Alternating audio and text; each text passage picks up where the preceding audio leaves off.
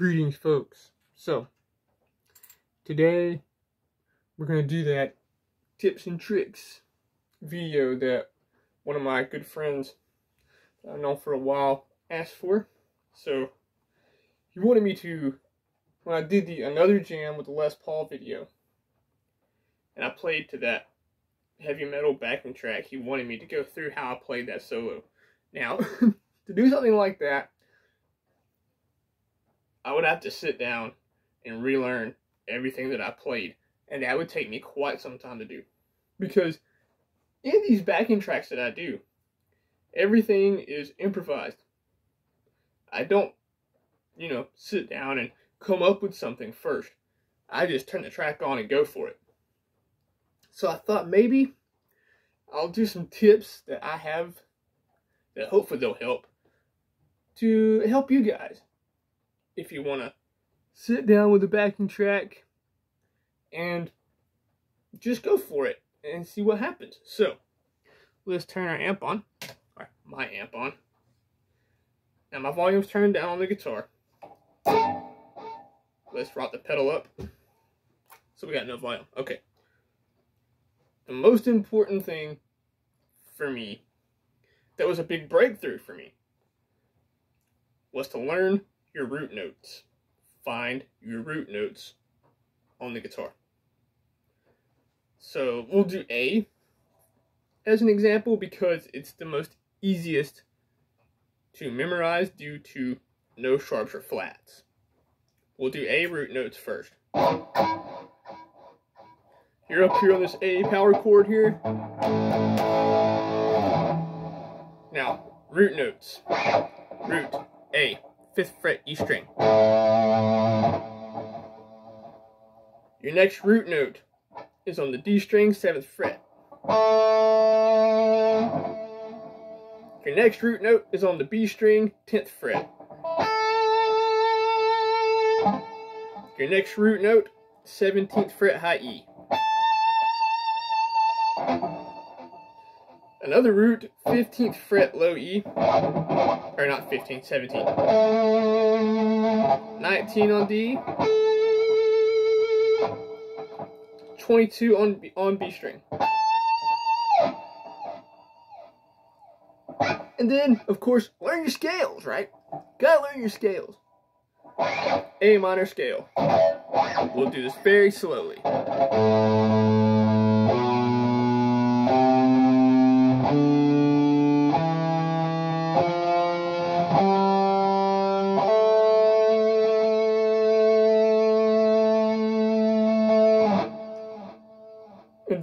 Backwards.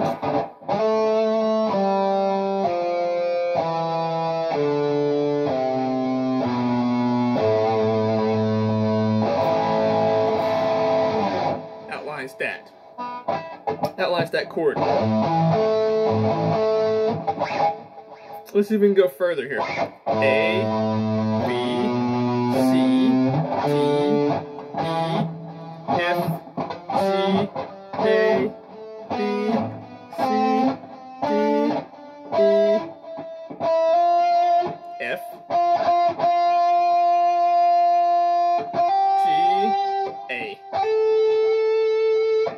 see how see how when you play your scale, all your root notes are there. Root. Root. Root. Also important, also important. Learn your scales on one string. We'll take A, the A minor scale again because it's the easiest to do. Third string, second fret is an A note. So you go A, B, C, D, E, F, G, A. That's just the minor scale. Don't forget about pentatonic. Everyone knows the pentatonic.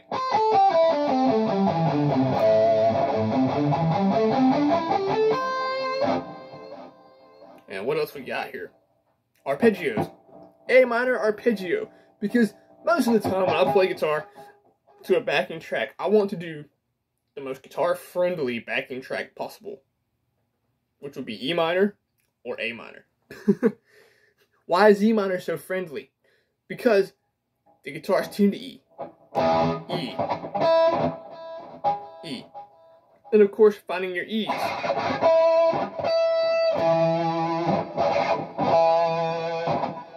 It's just easier that way. Now, arpeggios. I use my neck pickup anytime that I'm going to do an arpeggio. Just I just like the sound of it. So get it right up on here, man. Got your third string, 14th fret. 13th fret, B string. High E, 12th fret. 17 high E.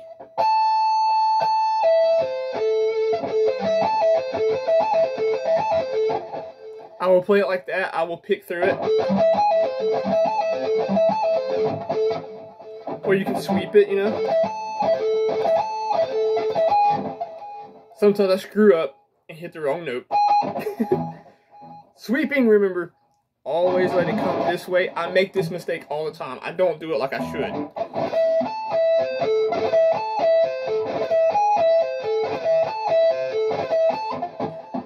Now, sweep picking, you know, people want to dig at it. This is the basic technique, is to dig at it with the pick, let it fall into the strings. If you turn your volume down, you should be able to hear it.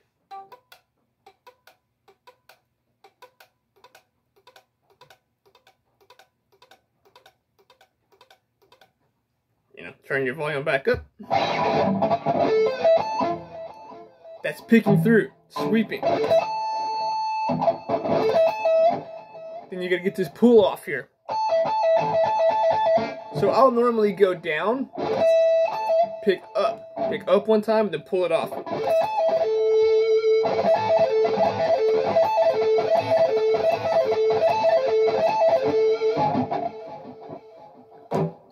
What else do we do? What else do I do? Man, I don't know. It's hard for me to explain a lot of stuff, dude, because I just turn it on and go for it. Like when I played that one, that solo, or backing track jam, I think I started with something like, what did I do there? That's immediately find your root.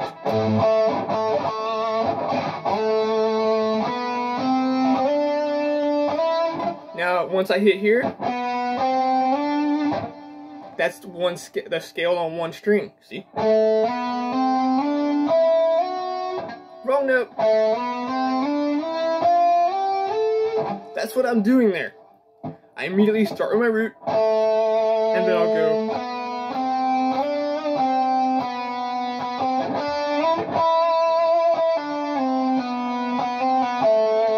Always resolve it on your root if possible. Unless you're trying to suspend it, then you'll need to start on a, a 2, a 4, or a 6 when I start, but resolve on a 2, a 4, or a 6. So what does that mean? 2 for your A minor scale, second note, which would be a B. So if you start this, that's a B there, right? So start this.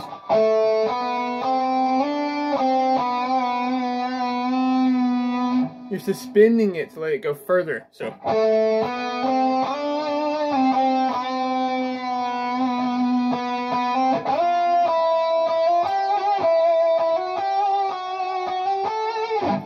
So what if we go to a six? How do we do that? One, two, not a six. Let's do a four. One, two, three, four.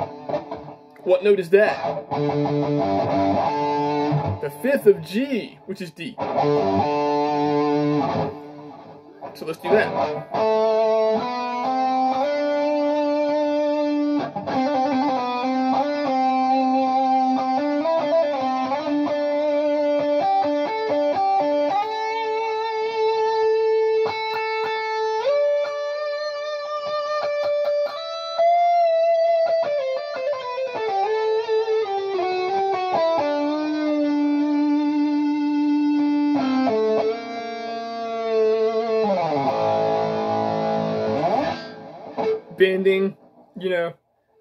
practicing your bending will be paramount in expressing yourself along with vibrato. So bends, you know, you want to focus on this. Intonation is very important here. Now, to bend your strings, you don't want to do it with your fingers straight up like this. See, you can't see my thumb. You don't want to push up like this.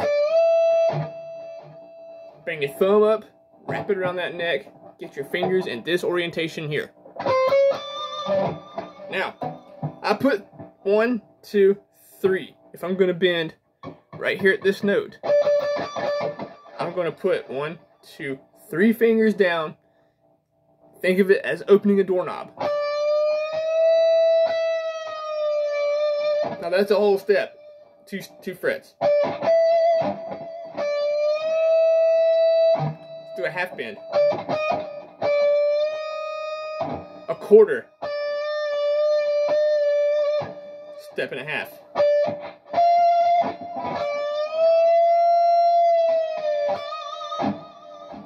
Focus on that intonation. Focus on looseness. And then other stuff I do, hammer-ons and pull-offs.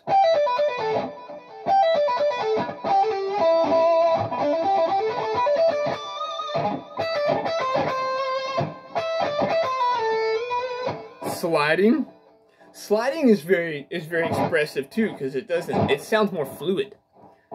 So say you want to do something in G, let's just say G.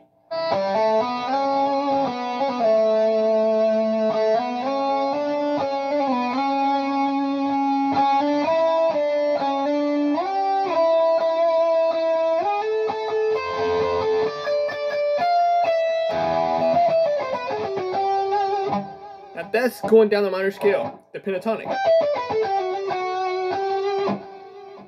Sliding is very fun. Speed picking.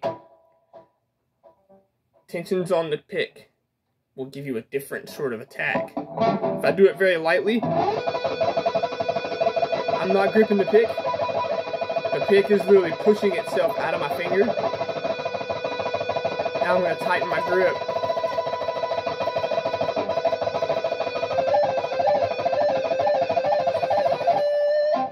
some reason, I use my neck pickup when I speed pick.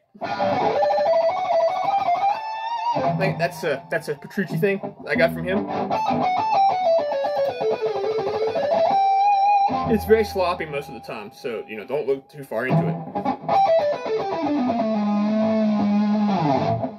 And that's another thing I do that I'm sure we all do. You know, steal from my favorite players. Right, like this whole uh, this whole lick here. I turn the wah on. And I'll be playing something like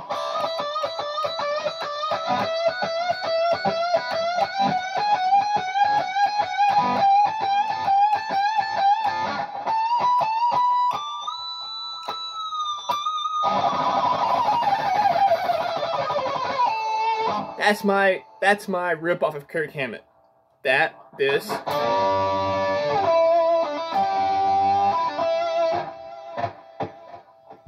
The bar stuff I do, all mm. taken from Satriani, Steve Vai.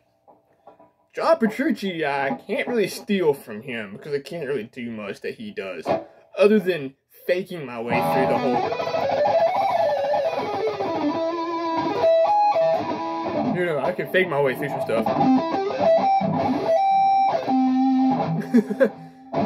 and see, my sweep picking still wants to go down there.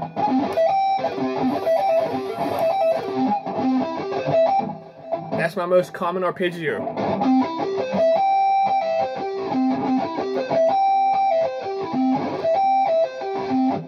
It's the first one I learned.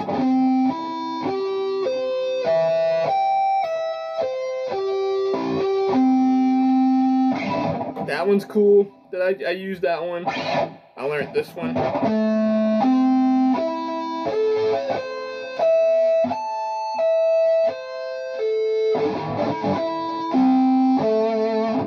A six string version.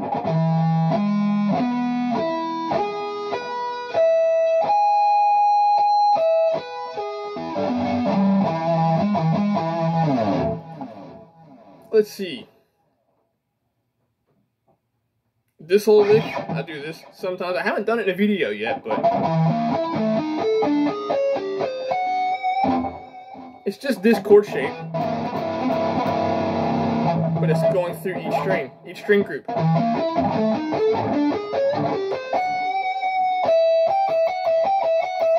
Straight from Kirk Hammett, straight from Metallica. Some of the bending that I do, like this one, you know what that sounds like? That sounds like Marty Friedman all day long. Tornado of Souls, you know? And there's another part, another example of one a scale on one string.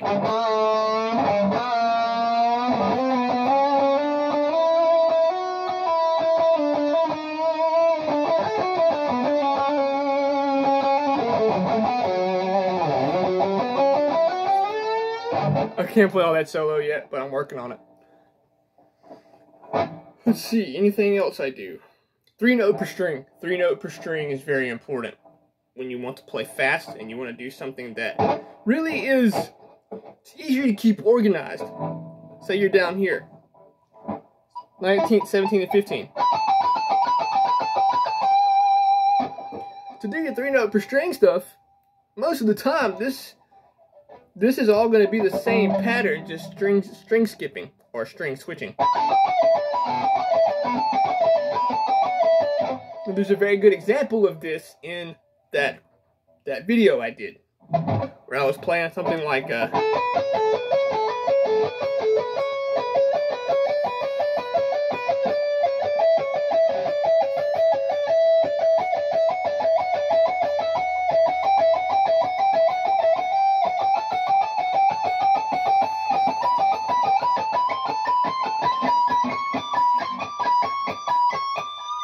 then when I hit this 22nd fret, I went like just that rip off Kirk Hammett lick, you know? But that's fun. If you can memorize this on the high E string, the low E string is the same.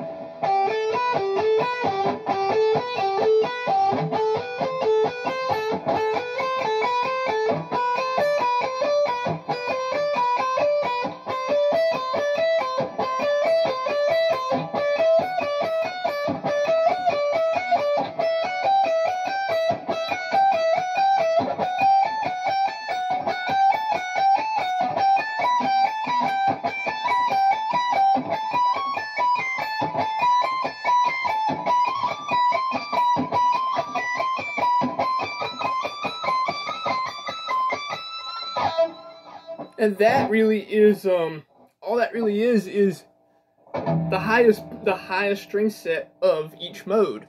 So this is the highest part of uh, C major. This is the highest part of A Dorian. B Phrygian. C Lydian. D Mixolydian. E minor, F sharp Locrian, and back to C major,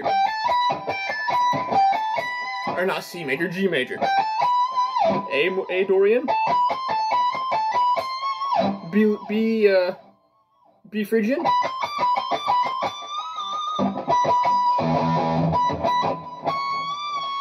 Then you're pretty much out. You got C Lydian here, I think.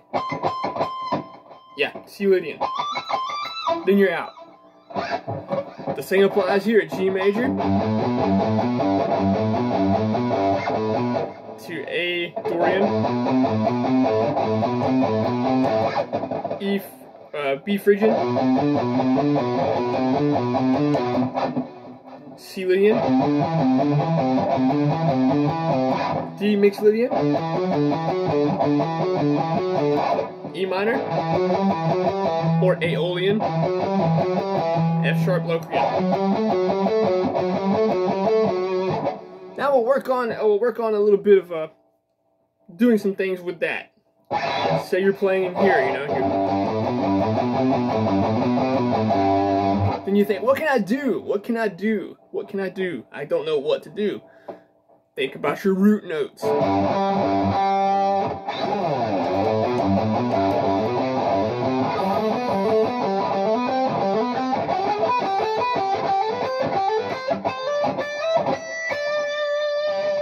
And as long as you resolve it on a root, a third, or a fifth, it's going to be a good resolution.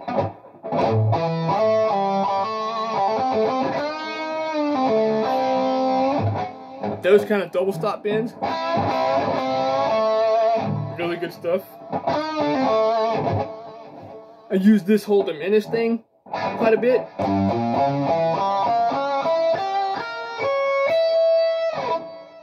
Gives you this kind of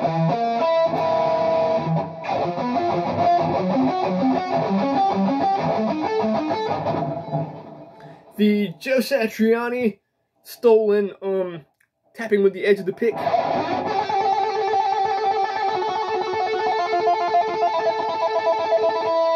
you can't see what I'm tapping with the pick. It's a very quick tap on the 14th fret. I think it is. Yeah, 14th fret of the G string. The rest is up to your fingers and your ear.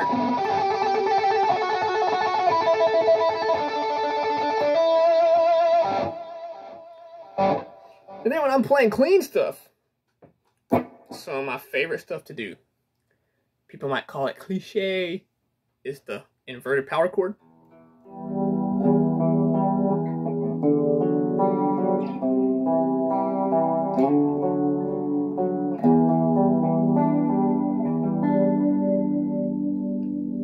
But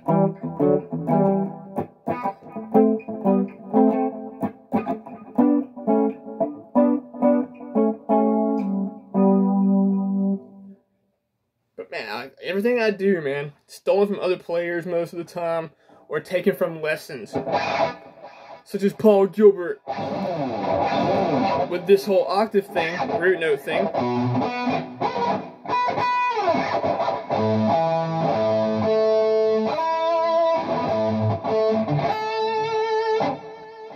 Take that power chord shape and move it through those root notes.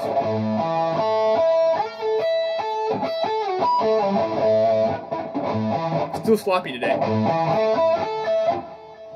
Okay, now I'm working on this one. I wouldn't teach this, but I'm gonna try this, man. This is this is really difficult. See, dude, that's hard. That's hard.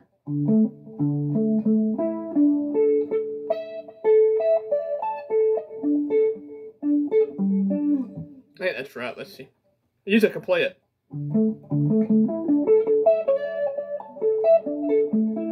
Then it goes up to A.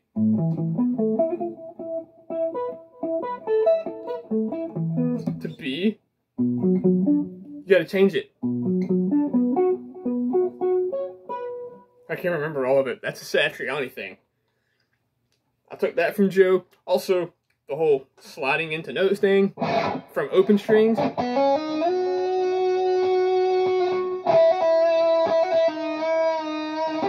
Bending, vibrato.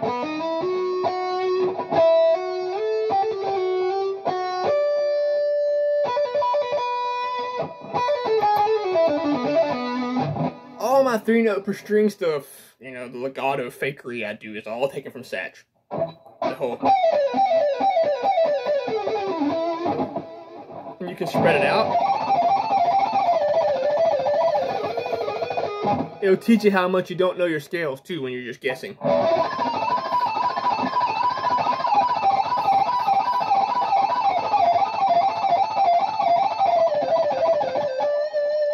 I shouldn't be picking that much because Joe does it when he does it. But there was that one thing where I came up, I was doing like a pinch harmonics. Pinch harmonics. Very expressive tool to use. For all you Zakk Wylde fans, you know what I'm talking about. So, I've had people ask me forever how you do a pinch harmonic. How do you do that? Look at my pick. And you can barely see that tip of the pick. Right? Choke up on that pick a little bit, grip it. You want to feel your thumb resting on that string. See, it's muted. until I take my hand away. Okay, so there's your harmonic. Now you need this to happen. But you can't get it right. You can't you can't shake it enough to get it. One, two, three.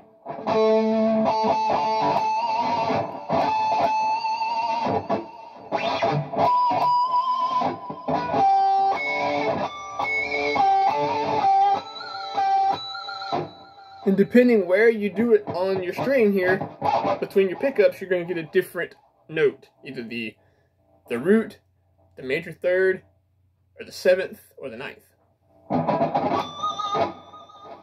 If you're doing just a single note like this, you can do it with this finger.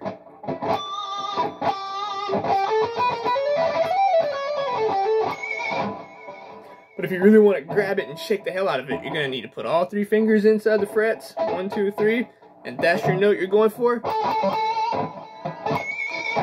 really shake it.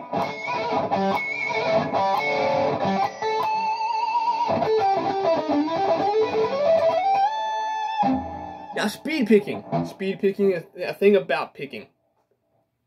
Keep your pick as close to the strings as you possibly can. Because if you don't, when you pick a note, when I, when I pick a note, let's say, or you, anyone, and you bring your hand up here, you got one more.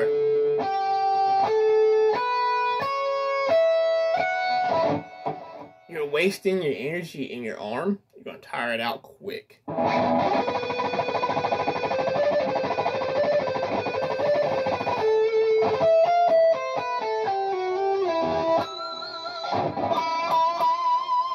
Sometimes I'll do them that way. I'll put two fingers inside of one fret.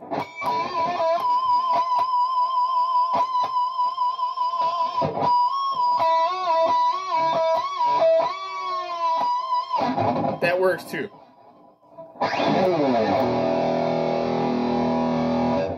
And then of course there's the whole uh, that's just your uh, that's just a scale on one string, but I'm adding an open G.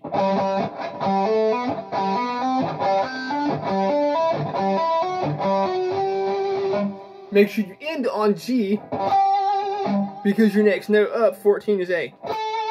Be right back at your root.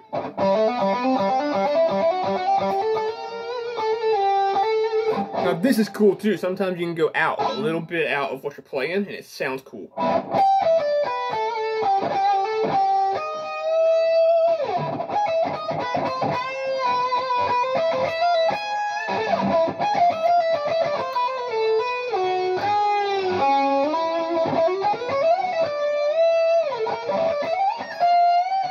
Now stuff like that, see, I don't know what I'm doing there. All I know is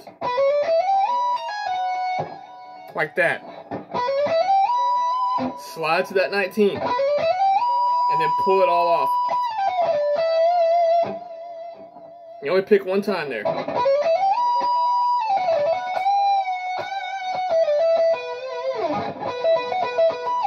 That thing, I do that a lot. That's from Petrucci. I stole that from him. Sorry, John, if you ever see this video.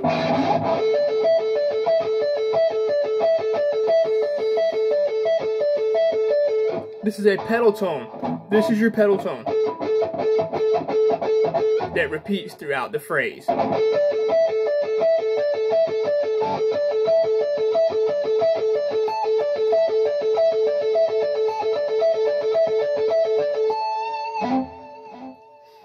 Once tried to steal one of JP's arpeggios till I realized I couldn't do it. Somewhere like that, I don't know. That's a little bit of a John thing.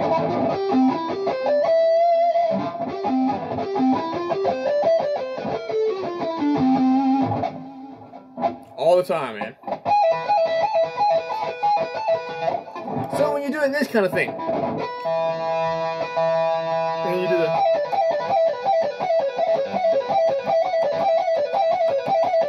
you know, don't be afraid to go out, go outside that 15th fret.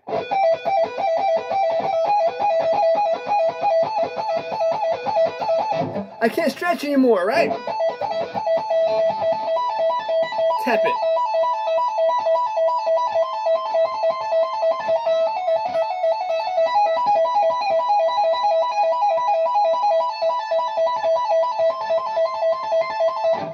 Tapping. Took that from Van Halen, Eddie Van Halen. So when I tap, I use this finger. A lot of people want to use their ring finger or middle finger to do it. I'll rest my thumb on top of the neck, next to the body, and mute out all the strings but these two. Because I know I'm going to be using those two to tap with, you know. And then you'll get this whole...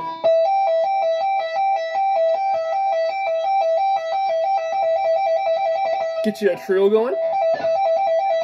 Going hit 19.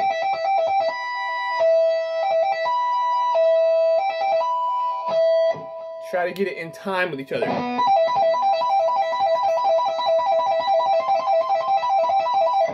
Now, then, you know, for in, in the beginning, you're gonna be, you know, you'll be going maybe even slower than that. That is okay. You want to do it that way. Don't get on it because you don't know where you're going. You don't know what you're doing, really. And that's not to be, you know, you're a dick, man. No, it's not that. Take it slow like this. Intently listen, just like Steve Vai said. Intently listen to what you're doing.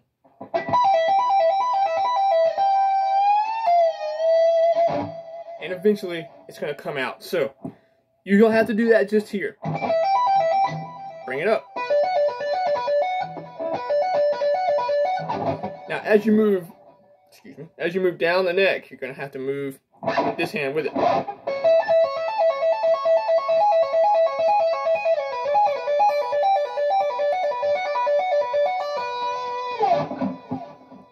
And you can go everywhere, man.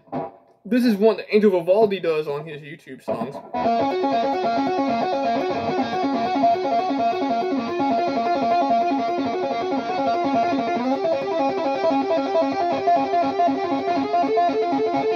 Something like that. I'm just demonstrating, faking it. Is there anything else I do? Since you wanted my tips and tricks. Bar. Hold on the bar on the Floyd. Own that Floyd. Learn to use that Floyd and own it every time you do. So basically, you know what I do. Just turn the volume up. Wow. I'll hit a harmonic anywhere. Say right here.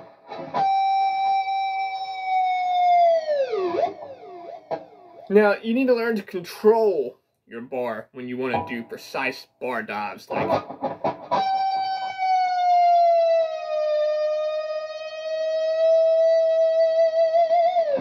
that all comes with your ear the most common is the bar dive you know you find a note shoot up the neck pull the string off and dive it down until it, it rattles out all this stuff is taken from Satch and Vai. the way they do it. Joe will do it down here sometimes too. Steve Vai can do un ungodly things on a bar. I don't know how he does it. He's just taking a lot of time to practice. I heavily abuse the pentatonic scale.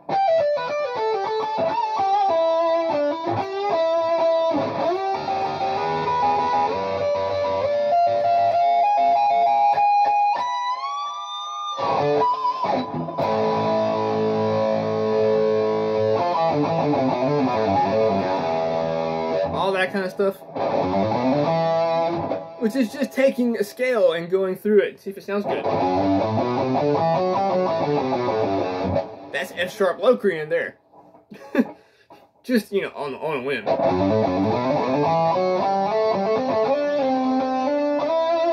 And then my, my personal lick that I always play.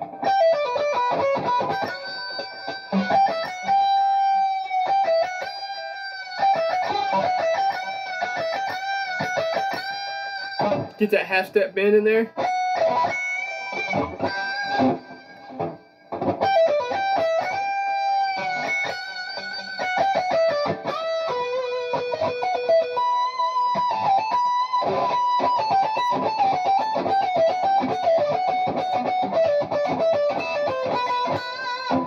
And also, when you're playing an A minor, you do some kind of... doesn't work, right?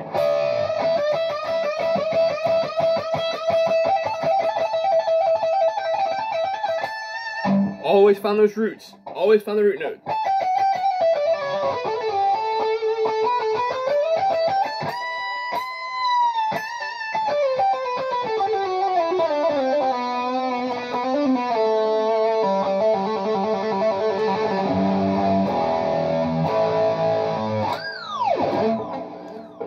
Pretty much what I have, you know, that I do. And I hope it helps everybody out here that watches this and my good buddy that messaged me on Facebook. I hope this helps you out, dude. Got any other questions, dude, just hit me up. I'll try to help you make sense of all of it. Thanks for watching and keep it metal out there.